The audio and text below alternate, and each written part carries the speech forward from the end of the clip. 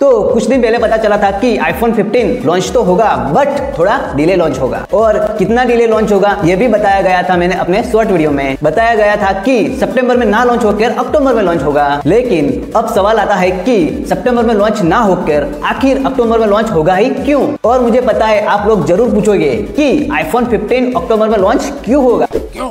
क्योंकि भाई आईफोन 15 की डिस्प्ले बनाने वाले अपनी अपनी जेब के साथ लॉन्ग ड्राइव पे चले गए हैं। खैर जोक सपाट आपको तो पता ही होगा कि मैं मज़ाक करता रहता हूँ और वो आपने कहावत तो सुनी होगी कि फ्लो फ्लो में निकल ही जाता है कि भाई, उस टाइम पे असली चक्कर तो ये था कि आईफोन 15 की जो डिस्प्ले है, उसमें थोड़ा डिले हो गया था बनने में। लेकिन अब कहानी में इंटरेस्ट ला दिया है एप्पल ने, क्योंकि सलमान के सिस्टम को और एप्पल के सिस्टम को हैक करना नामुमकिन ही नहीं।